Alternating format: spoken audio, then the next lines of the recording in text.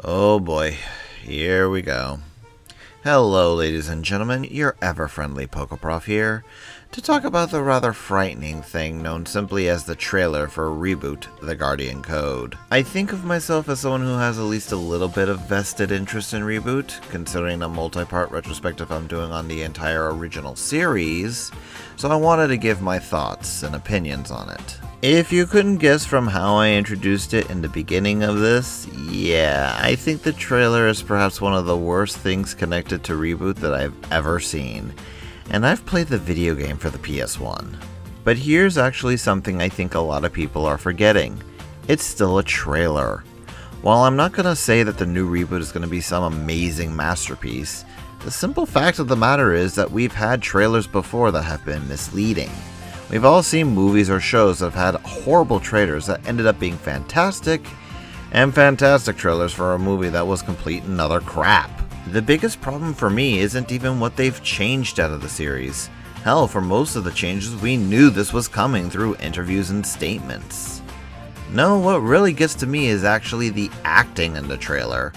Even at their worst, the original reboot actors did their absolute best to give their all to the role, with greats like the late Tony Jay and Scott McNeil helping round out the cast. The same clearly just can't be said for what little we see of the cast in this trailer. Everyone just sounds so lifeless, like they couldn't give a care about what they're doing.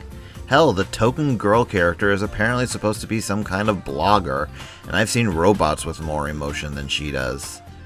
We even see in the trailer that the character who is supposed to actually be a robot from cyberspace have more energy and inflection in her voice than any of the other main cast members. A show can survive bad plots or silly decisions if the acting is solid, and so far it appears to be failing on all fronts. When I first heard that there was going to be a possible revival to Reboot, I got really happy.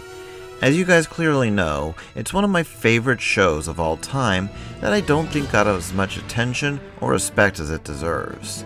Honestly, to this day, most people don't really seem to know much about it, if at all. What the trailer has shown us so far, though, looks more like a poor man's Code Lyoko than anything else related to the reboot of old. And while I'm still willing to give the series a chance in the hopes there might be something good in it, well, I think I'll leave things off with how Bob says it. This is bad.